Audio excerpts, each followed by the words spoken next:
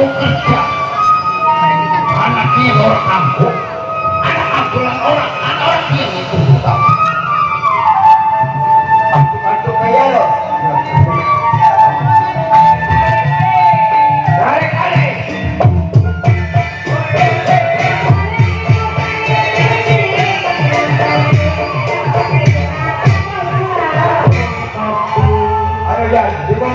ya, bantu para prajurit prajurit saking Pulau Mas.